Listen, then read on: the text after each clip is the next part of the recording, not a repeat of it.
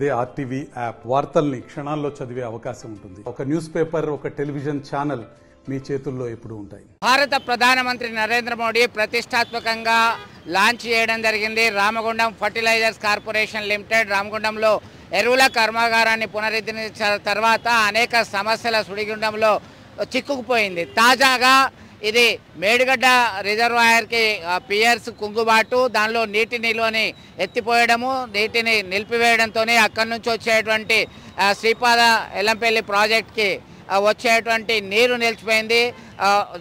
Fertiliser product కావాలంటే zero point five five TMC నీటిని Sripada Yellampalli project నుంచి రామగుండం ఎరువుల కర్మాగారానికి తరలిస్తున్నారు. ఇప్పటికే ట్యూబుల లీకేజీ ఇతరత్ర ఇబ్బందులతో సతమతమవుతున్నటువంటి రామగుండం ఎరువుల ఫ్యాక్టరీకి మరొక దెబ్బ పడిందని చెప్పుకోవచ్చు. ఎందుకంటే ఈ మధ్యకాలంలో కాళేశ్వరం లిఫ్టిగేషన్ ప్రాజెక్టులో జరిగినటువంటి అవకతవకల నేపథ్యంలో అలాగే నీటి నిలుపుదలకు సంబంధించినటువంటి తీసుకున్నటువంటి ఉత్తర్వుల నేపథ్యంలో ఇంజనీరింగ్ చీఫ్ అధికారులు ఒక ఆదేశాలు జారీ చేశారు. మౌఖికంగా మే నుంచి మీ దారి మీరు తీసుకోండి మీకు నీటిని సరఫరా చేయలేమని చెప్పేసి కరాఖండగా చెప్పడం జరిగింది.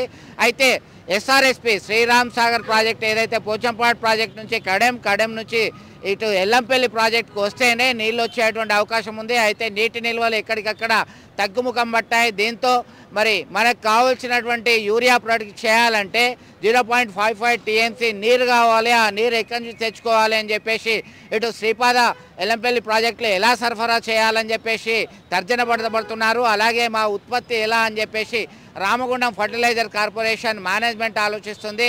మొత్తం మీద తెలంగాణ రాష్ట్ర రైతాంగానికి ఎరువుల పంపిణీలో ముందుండేటువంటి రామగుండం ఫర్టిలైజర్ కార్పొరేషన్ ఎరువుల తయారీలో మరొక గండం వంచి ఉందనే చెప్పుకోవచ్చు.